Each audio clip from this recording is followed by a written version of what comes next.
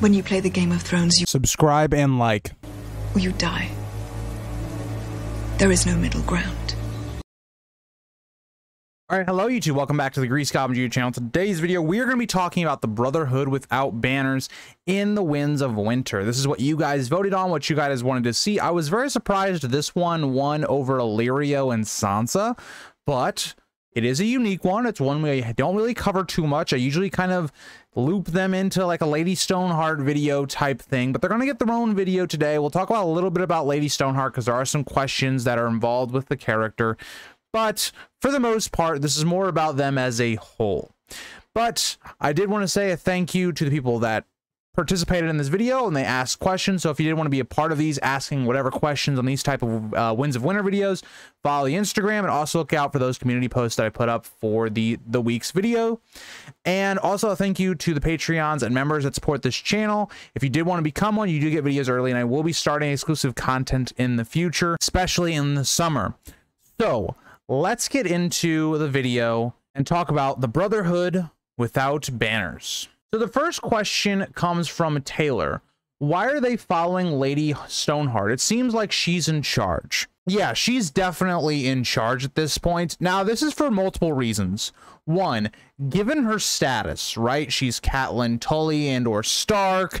She commands a lot of respect from these people, given Ned Stark was kind of the person that put them out on this mission or a lot of them and so she's going to have a lot of influence over a lot of the members already and then the second part of it is going to be think about the way she's brought back to life. So she's going to be looked at as kind of like a religious symbol or magic symbol. She's come back from the dead in front of all of their eyes.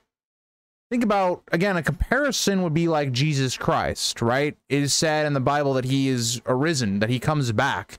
Think about the way that that's lived on the or the influence that is spread in part because of that so you look at that and you put that with stoneheart and the first-hand account a lot of these people are going to have on seeing her rise from the dead even though she should have she should be dead she has a cut deep into her throat she was dead for a bit of time she was just floating in a river it all adds up to this idea that she is somewhat of a magical figure, a figure that is is beyond belief. And so you have that aspect of it. Then the other aspect of it is Beric, who was in charge of the Brotherhood with out banners, had the respect of all of these people to name him as their leader.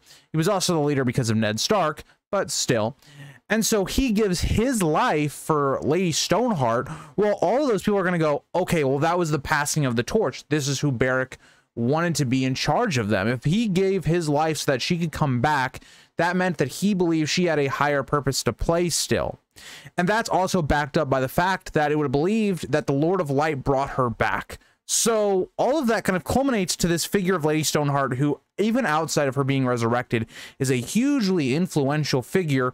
But then you add the fact that she also is this figure of a really big religion, uh, a really big religious figure, given that most of the Brotherhood Without Banners believe in the Lord of Light. All of that culminates to this person that should be in charge, given all the information we know. Ashley says this is more of a Brotherhood observation. Whenever Thoros brings Beric back, we're, ne we're never told that he has to sacrifice anyone to do it.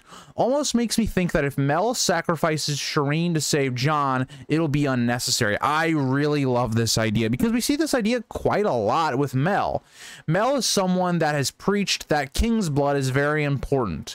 That is what will grant Stannis all these powers. But we know that's not true we know given that uh, something like Mance, for instance, he wasn't burned, he was saved by Mel. We know that in reality, what really has power is just blood. Blood sacrifices. That's what seems to have some sort of power for Stannis. And so, in terms of Mel always jumping to conclusions, I like this idea, right? It would add a lot of tragic stuff onto Shireen's death outside of it just Shireen being a child, being very innocent, being a very good-hearted character, it would really add to that level of tragedy. And it would be something that Mel, when you think about if when she runs into Thoros, maybe later down the road, which we have some questions about that as well, that'll be really an interesting conversation where it's like, wait, you burned a little girl so and Jon came back? Like that was the rationale? Interesting. Because on two accounts, she's going to be wrong. She's going to burn Shireen because she's of course, King's blood, but also two, because she believes that you need a sacrifice to bring back Jon, if that's why she ends up burning Shireen. So all that culminates into this moment where Mel could have a really big moment of self-discovery, right? Doubting herself quite a lot. It could be that point in the story where Mel kind of switches up everything she's doing and tries to really focus on what how to fight the others and try to get past all the mistakes that she's made and atone for those sins. Really like that idea though, Ashley. Kitty Kit or Kitty Kit uh, says, "Do you think Thoros tried to give the last kiss to their other fallen brothers after he revived Beric? Do you think he gives a part of himself when he revives Beric?"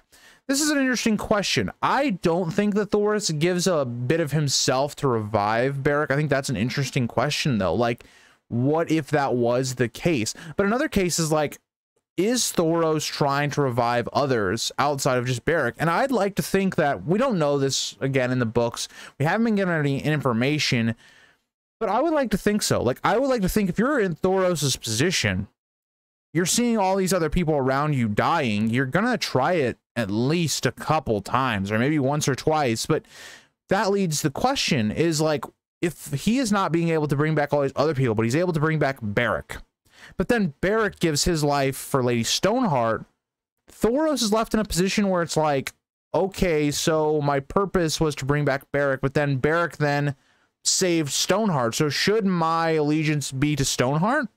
Like fully because that's what the Lord of Light seems to be destining me for to do. I think all of that brings up a lot of interesting questions to the character of Thoros and his motivations going forward. But also, you say, also just a take, not a question. I think Beric's death was a mercy. He already lost too much of himself. He even asked if Thoros was his mother. He's another version of what is life when everything else is lost. He was a good knight and deserves some peace. Yeah, I mean, think about Beric from when we first meet him in a Game of Thrones till when he dies. We first meet him, he's this young, handsome knight that Sansa and Jeyne Poole are kind of, you know, I guess eyeing up um, because he's very handsome, especially Jeyne Poole. She really likes him. And by the end of it, it's like he's kind of a broken man. He's losing bits and pieces of himself. He's damaged. He has injuries everywhere. It almost seems like a mercy kill, right? And that's something we're going to see quite a lot with that storyline. So I think the tying in of, you know, Beric dying because of mercy right? His purpose was served. And having Lady Stoneheart possibly die from a mercy killing from her daughter because Stoneheart has become this person that's not even Catelyn anymore. This being of just revenge and all these horrible atrocities she may cause in the future. I really like a lot of your guys' ideas, by the way. Uh, Bowell says, which lords do you think are allies with them could be a red wedding 2.0 so let's talk about this i already wanted to look up uh, what we have down already for, so for the wiki of ice and fire some of the people that we know already that are kind of sympathizing with the brotherhood we do have ravella swan from acorn hall we have Lord Lymond Lychester. So there are people that are like very sympathetic. And you got to think about this as well. If you're someone that believes the Blackfish will end up finding the Brotherhood without banners and being someone that helps along with the Red Wedding 2.0 and things like that, you got to think, right? I don't think any houses will be publicly supporting them, but privately. You know, it's very similar to the first Blackfyre Rebellion, where it's like none of the major houses really took their side or took um Daemon Blackfyre's side, but could they have been maybe aiding him secretly? Possible. We just don't know. And so I think the Blackwoods could be uh, a house that could be trying to back the Brotherhood. There could be other houses as well. Uh, the Mallisters, if they're able to get free of the Freys control, there's a lot of houses in, I think, in the Riverlands that could be backing them, but it would be more secretly. It wouldn't be like a public type thing until after the Freys have kind of been put out of power. It's kind of where I believe. Task asks, is Lem Lemoncloak the Knight of Skulls and Kisses and aka Richard Lonmouth? This is an interesting question because so Richard Loudmouth or Lonmouth, for people that don't know, was a companion of Rhaegar Targaryen. He was kind of in that era of just companions with like Jon Connington, Arthur Dayne. He was in that kind of a group. And the issue that I have with this theory is Richard Lonmouth does not have much to go off of his character. We don't know really anything about him. Um, he seems like this figure that was like a almost like a fable of the time. And so there's not a lot we know of the character. One thing we don't know about the characters, we don't know which side he took. We don't know if he stayed loyal to our Baratheon or if he, you know, went with the Targaryens. I would lean towards him with the Targaryens, given that he was a big fan of Rhaegar, but who knows? But again, we don't know really anything about the two. Like, we don't know how old Lem really is. We don't know how old Richard Lonmouth is at the time of like Robert's Rebellion. We'd have to assume he's probably a similar age of Rhaegar. So that would put him in like his mid like 40s, anywhere in that area, or maybe 30s, like around how like old Ned is in the books. Again, there's just not a lot to go off of. The what I will say about this idea is there are some interesting things to point to with Lem Lemoncloak, where in the books there's kind of multiple times that seems to imply like kisses and skulls in terms of lemon or lem. We also have some things where his sigil kind of represents a bit of what Richard Lonmouth would kind of be. And so I think it's an interesting theory. I don't think like it's a bad idea at all. I just don't think there's a ton to back it up because the two characters are so unknown in their origins and what ends up happening to Richard Lonmouth specifically. So personally, again, I think it's possible. I just don't really have like a hard opinion on that one. Bill Joe asks, How do you think Stoneheart will meet back up with Sansa? I think it will almost certainly happen, but I don't know how. So, to me personally, if you're going to suggest Sansa meets back up with Stoneheart, you have to be assuming that Stoneheart is going to get through all the Red Wedding 2.0 stuff, the stuff with the Freys, and then basically end up start going back up north to meet up, whether that be with Jon in the northern conflict or any of that stuff to take out the Boltons. The problem I have with this is I don't feel like a character like Stoneheart will make it that far. I think it makes much more sense that Arya will be the one that ends up meeting up with her and killing her before Sansa meets her because Sansa has so much plot going on that if we even saw Sansa and Stoneheart meet up, it'd probably be around the back quarter of the book. And so at that point, it's like you'd have to either resolve the Stoneheart stuff at the back end of Winds of Winter very quickly or you would have to do it in the next book. I think it makes way more logical sense to have Arya almost repeat her history, where she ends up being too late to the Red Wedding, and in this second time, she's also too late to stop this revenge Red Wedding, the atrocities happening for people that are innocent being killed because of some of the crimes of the Freys. But this time, she's not late enough to find the culprit. She finds her mother. She interacts with her mother one last time and sees what she is and kills her. I think that will be a really great arc for Arya. And so I don't think Sansa's arc is tied to Catelyn. I think Arya's is at this time. I'm also not sure what Sansa would get out of like this whole meeting her mother arc. I think it's much more powerful for Arya. Sansa I don't know. It would be interesting to see, like, I guess for Sansa to react to her mother becoming that, but I don't think it would hit as hard as it would for like an Arya and the way Arya would be able to resolve that plot. I really feel like Sansa's arc is focused on taking out Littlefinger, and I think Arya's arc will be focused more on revenge, death, her mother. How do all these things operate within Arya? That's kind of pivotal to her arc. I think Sansa is more focused on a Littlefinger type thing. Now, it would also be interesting if Stoneheart meets up with Sansa because that could help unveil some of the things going on with Littlefinger.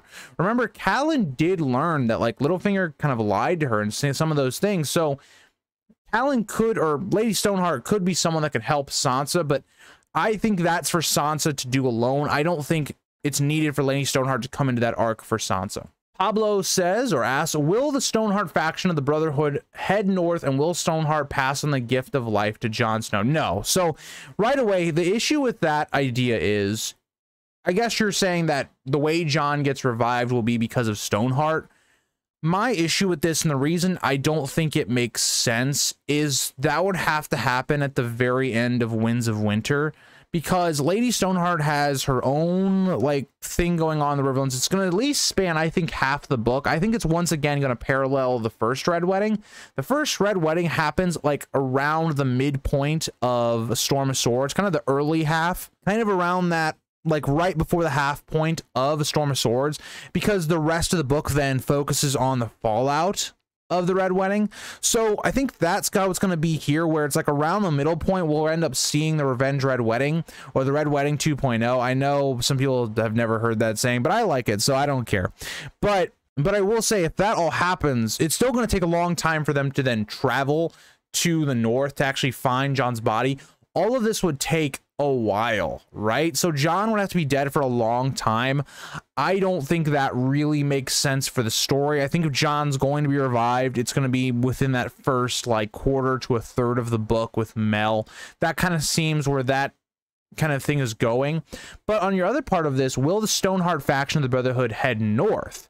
That I think is very logical, right? I think given the fact that the Brotherhood without banners I think a lot of them would be seeing themselves as needing to atone for some of the crimes that they've done, how they've lost their way, how kind of Thoros kind of talks to Brienne and that part of it. I think the way that they will get atonement for that will be against the others, right? The Lord of Light guiding them against the, the Long Night. I think that makes logical sense. I think the one thing that the show did right is I do think the Brotherhood without banners would see the others as a huge threat. And I think it would be something that they would take on as a responsibility for them to face. I don't like the way that that storyline ended in the show, but I think they had the right idea. And so I think that will be similar in the books as well. Uh, Casper asks an interesting question Who would win the Brotherhood with banners or Brotherhood without banners? Well, I don't know how to answer that question because you would assume the Brotherhood with banners would maybe be more honorable and such. And so the Brotherhood without banners would be more of a guerrilla type warfare. So if they both have the same amount of forces, I'm going to go with the Brotherhood without banners. I don't know. I don't know how to answer that question, but yeah.